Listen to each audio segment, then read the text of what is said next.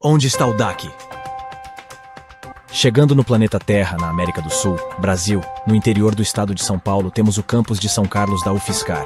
É neste campus que se localizam os prédios do Departamento de Artes e Comunicação. Eles estão na área sul, e ao centro da imagem já podemos ver o prédio da música. Poucos metros ao norte já vemos a sala de ensaios da orquestra. Depois, passando as piscinas e o Banco do Brasil, indo para leste, chegamos ao Teatro de Bolso e ao prédio principal do departamento, que são anexos. É neste prédio que funciona a secretaria e que temos os principais laboratórios da área de imagem e som.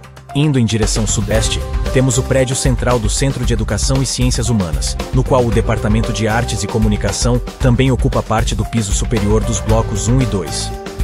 DAC, venha conhecer.